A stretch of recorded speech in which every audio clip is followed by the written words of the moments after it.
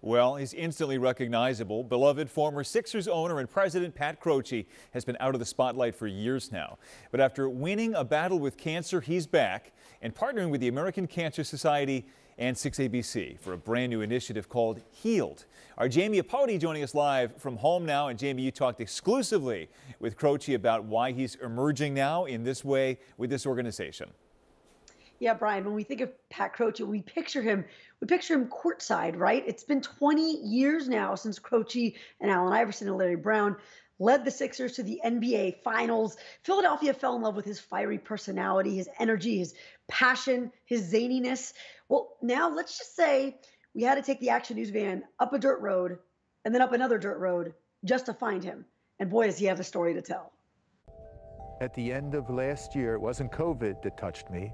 It was T cell lymphoma touched my body. The pirate fanatic left with his own X marks the spot, a 58 stitch scar across his chest after surgery and radiation. I believe that I was graced with cancer. It wasn't a curse. And so Croce has reemerged from six years entirely off the grid to partner with the American Cancer Society for his newest passion project, Healed. Healed, H E A L E D. Health and energy through active living every day. Since last month, he's already helped raise $1.7 million, and it's just the beginning. With a minimum donation, they can get this cool black lava bead bracelet with one green bead that represents unity. We're all in this together. It's self awareness that has brought Croce to this point.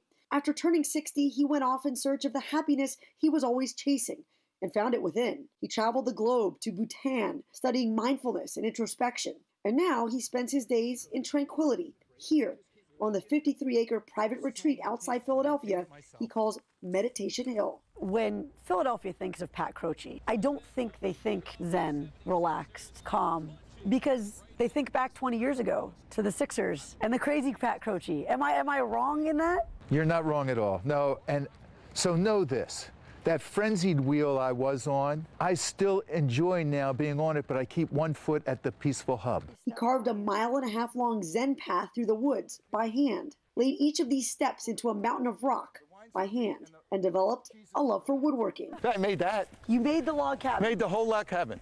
By hand. so cool. Wow. The how in the now creates the wow. How you do what you do right now in the present moment creates little mini ha, ahas. And all those ahas add up to a wonderful day, and then a wonderful week, and a wonderful life.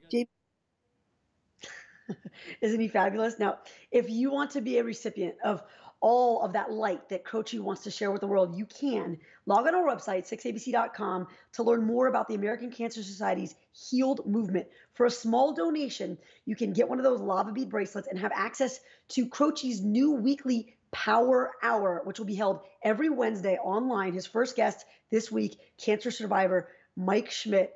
Boy, is Pat Croce something else, a big ball of energy. And Sarah, if he could get me to meditate, he can get anybody to meditate. I would have to agree with that, for sure. A little high strung. We can all use a little bit more of that, for sure, Jamie. That was a great story. Thanks so much.